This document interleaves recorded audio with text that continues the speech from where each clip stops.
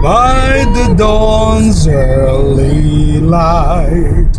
What so proudly we hail at the twilight's last gleaming, whose broad stripes and bright stars through the perilous fight, all the round we watched were so gallantly streaming, and the rocket's red glare, the bombs bursting in air, gave proof to the night that our flag was still there.